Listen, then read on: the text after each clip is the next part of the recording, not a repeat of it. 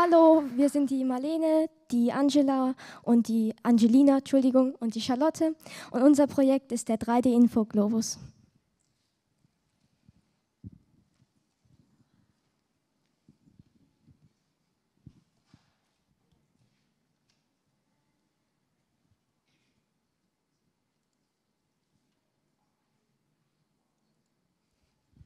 Was ist eigentlich der 3D-Info-Globus? Es ist eine Website.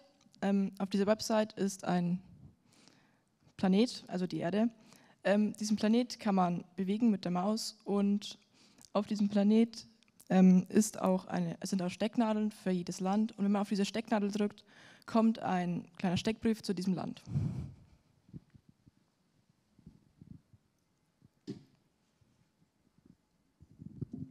Wofür braucht man jetzt so eine Website überhaupt? Wir haben uns halt so gedacht, wenn man jetzt Referate machen muss oder jetzt so ein Reiseziel aussuchen muss, muss man immer im Internet nach ganz vielen verschiedenen Informationen suchen, weil es nie so richtig Info Webseiten gibt, wo irgendwie alles auf einem Haufen ist.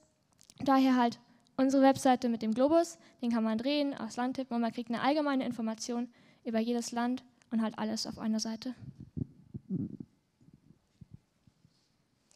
Also um unser Programm zu schreiben, also wir haben ja eine Web Website entwickelt, dafür haben wir HTML verwendet und auch JavaScript und um unser 3D-Objekt einzufügen, also das 3D-Objekt ist selber gezeichnet, alles komplett selber gemacht mit Blender von der Angelina und äh, um das äh, um das einzufügen, die 3D-Objekte, haben wir die Library Free.js äh, JS benutzt. Genau. Äh, wir möchten euch jetzt eine kurze Demonstration unseres Projektes zeigen. Hier sieht man jetzt unsere Website. Ähm, man kann ein bisschen runterscrollen und wenn man dann, da sieht man den Globus, den kann man zoomen und drehen und bewegen.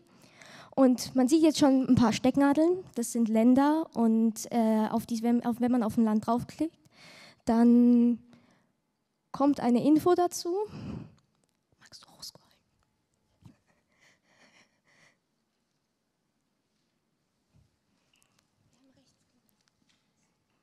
Dann kommt eine Info dazu, jetzt hier im Beispiel Deutschland, also wichtige Informationen, also ganz grundlegend wie die Hauptstadt.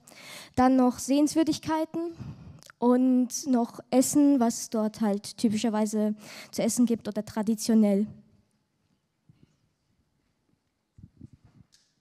Genau, das Ganze kann man schließen und auf andere Länder tippen, aber weiter sind wir im Moment jetzt in der kurzen Zeit nicht gekommen.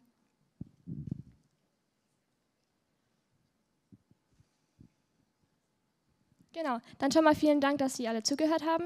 Wir möchten uns aber auch bei den Organisatoren bedanken und den Mentoren. Ohne die alle wäre das nicht möglich gewesen. Und sollte jemand jetzt Lust haben, um sich unser Projekt anzuschauen oder an dem Code rumzubasteln, kann er das machen, indem er auf den Link klickt oder beziehungsweise sich den Link merkt. Und dann, das findet er dann auf der GitHub-Seite und kann es dann bearbeiten. Vielen Dank. Großer Applaus für Gruppe 1. Das ist euer Applaus. Kommt zu mir.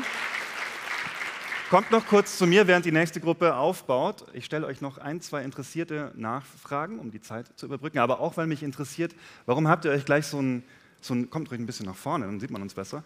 Warum habt ihr euch gleich so ein, so ein globales Projekt aufgehalst? Ja, global. Es ist ja so, man will ja nicht es ist leichter, irgendwie so für ein Land so die Hauptthemen zu finden. Und es ist ja so, wir kommen ja alle aus einer Region. Man könnte natürlich nur die Region nehmen. Aber dann hat man ja, alle hat schon so ein bisschen Informationen. Man hat, weiß schon irgendwas und so im Global, man weiß nicht über jedes Land was. Und dann kann man genau das Land nehmen, was man jetzt gerade hat und keine Informationen hat. Und deswegen hat man dann gleich welche. Und was unterscheidet euer Projekt von, sag mal, Google Earth zum Beispiel, wo man ja auch den Weltball drehen kann? Also unterschiedlich ist halt, dass man äh, generell, dass dort die Städte angezeigt werden und nicht unbedingt die Länder. Und bei uns hat man halt das Land und die grundlegenden Informationen darüber. Und äh, auch sehr einfach gestaltet und nicht so viel verschachtelt. Manchmal ist einfacher einfach besser. Applaus an euch nochmal, ihr seid die Ersten, die heute präsentiert haben. Dafür gibt es einen extra Applaus von mir. Und damit darf ich euch herunterbitten. Die nächste Gruppe steht bereit.